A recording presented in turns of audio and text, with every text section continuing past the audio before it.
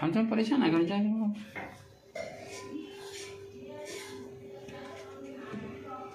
नहीं बन पाएँगे अभी।